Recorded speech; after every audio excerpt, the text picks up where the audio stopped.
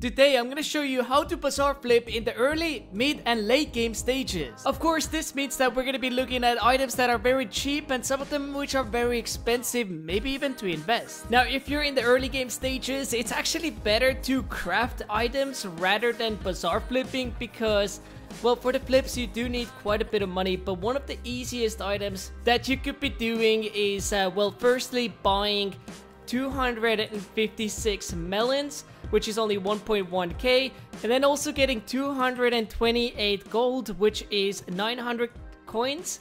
Now, obviously, you want to do it like times 100 or so. And the item that we're crafting here is actually needing 15k in the melon collection, and that's the enchanted glistering melon. Once we have the items, we just want to go ahead and actually make it into golden nuggets then converting them into glistering melons. And once that's done, we are ready to craft the enchanted glistering melon. So we spent about 2,000 coins on it, and we're gonna sell it for 28,000. I mean, that's actually insane. There are obviously a couple of other items, for instance getting coal, so let's buy 128 of those, which is only 700 coins. And then 32 of the dark oak wood. Uh, yep, this total costed us only 800 coins, and from this we're gonna be actually crafting enchanted charcoal, and we're gonna sell this for literally almost triple, which is kind of crazy, so 1,600 coins. Other items to craft and uh, quickly sell would be actually baits and I'll quickly demonstrate one of them which has the hardest recipe. I'm just gonna do buy instantly on these but firstly we're gonna need one raw salmon, five raw fish, three prismarine crystals, nine gold and then one ink sac. From these items, we're to be able to craft the fish bait, light bait, also dark bait. And then the last one is actually to be a blessed bait. So there we go. And now we can actually turn it into the whale bait and we can sell it for quite a bit of profit.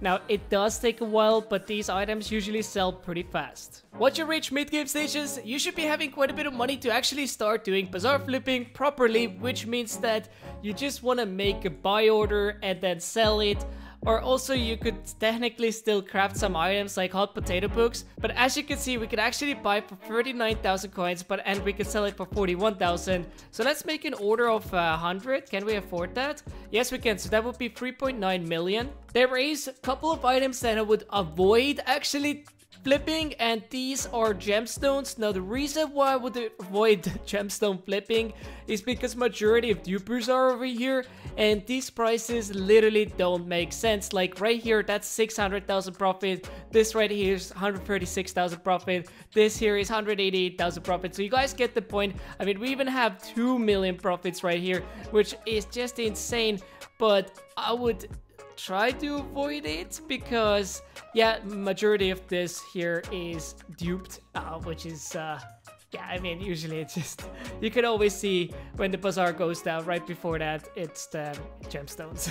but some of the best ones are summoning eyes, they're really easy to flip, and then also we do have the null ovoids, which are also amazing to flip. So these are the top three items I would recommend. And late game, well, this is where things get interesting, because I would say flipping with the most money, it is the easiest, so you need more money to make more money, that makes any sense at all. Uh, but as you can see, I've been trying to, for instance, buy Enchanted Sugarcane because I'm gonna be actually investing into it. So we're gonna actually make another order here and then also Hyper Catalyst. And the reason why I'm actually purchasing these is so we could potentially get ourselves a big profit once Mayor Derpy comes around. Now, this is something that I was written on Discord saying like, yo, Mayor Derpy is gonna be here in one month and uh, I'm gonna be holding on to these items. But right now, it looks like Enchanted Sugarcane itself is pretty nice to flip. We could sell this for 29 million and we bought it for 27 million.